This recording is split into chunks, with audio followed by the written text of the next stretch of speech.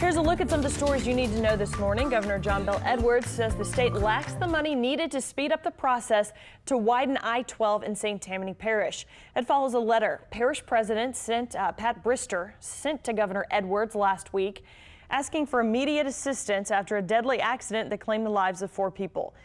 Governor Edwards says the project is on the state's to-do list, but could be would be 95 to 120 million dollars and blame legislature for not backing a state gas tax that would have helped fund the projects sooner. With more than 250 crime cameras across the city of New Orleans, residents in the Palm Air subdivision on Holly Grove want to know why none are serving their area. It comes amid high crime rates in recent years. The NOPD tells us they don't discuss specific locations under consideration, but a spokesperson for Mayor Latoya Cantrell says the administration overall is committed to expanding the program. A new report shows that nationwide Confederate monuments are being removed at a pace of about three per month.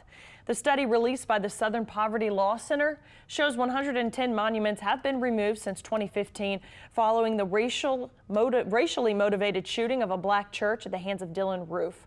The report says there's still more than 1,700 memorials remaining nationwide. This morning